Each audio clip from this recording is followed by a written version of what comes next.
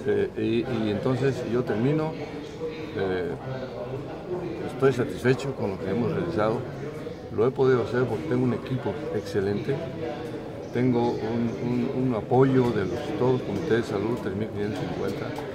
Eh, ha habido una, un, incremento, no podría yo cuantificarlo, en, eh, en- en el cuidado de la salud de las y los tamaulipecos, que todos juntos, empezando encabezados por el señor gobernador, hemos podido avanzar en este Doctor, si tema. lo invitaran este a- tema. al distrito de Victoria, ¿se aventaría? No, no, no.